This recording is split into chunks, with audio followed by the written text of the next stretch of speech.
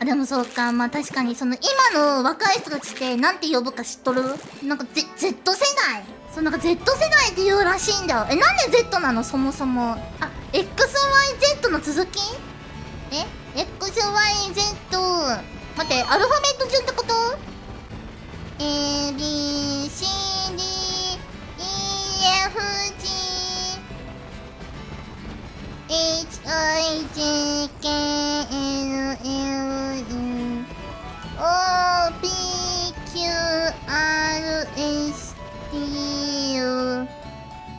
H Z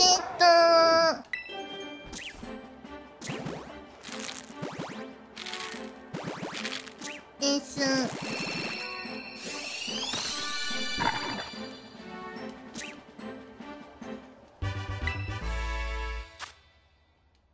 っていうね。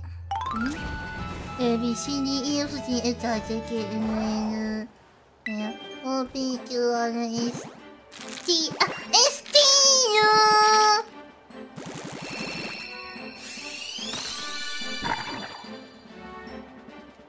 こっちみんな。V, W, Z, X, Y, Z か。あー。え、Z で終わりってこと？